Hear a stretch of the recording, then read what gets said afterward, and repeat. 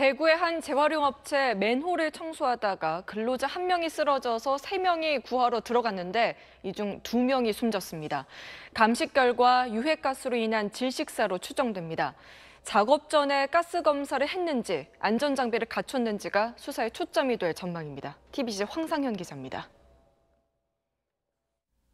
대구의 자원 재활용 업체에서 사고가 난 것은 어제 오후 5시 40분쯤.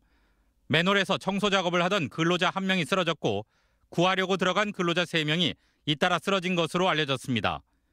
이들은 병원으로 옮겨졌지만 두 명이 숨지고 나머지 두 명은 병원에서 치료를 받고 있습니다.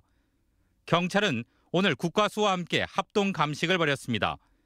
어, 인부들이 순차적으로 바로 쓰러졌다는 그런 진술이 있는 만큼 저희들이 뭐 유독가스 중독 또는 저산소에 의한 질식 뭐 그런 가능성이 높다고 판단은 하고 있습니다만 젖은 폐지에 찌꺼기 등이 모이는 2m 깊이의 맨홀은 6개월마다 청소를 하는 곳으로 소방당국의 잔류가스 측정에서도 황화수소와 이산화질소 등이 허용 기준 농도를 초과한 것으로 나타났습니다.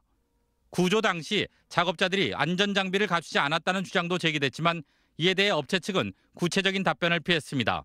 마스크 같은 걸 착용하고 가셨나요? 다 마스크는 다 하고 예, 갔습니다. 그러면 저기 농도 이런 체크는요?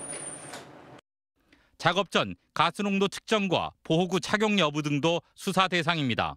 경찰은 숨진 근로자 두명에 대해 부검을 통해 정확한 사인을 가리고 조만간 업체 관계자를 불러 안전수칙 준수 여부를 조사할 계획입니다. TBC 황산입니다.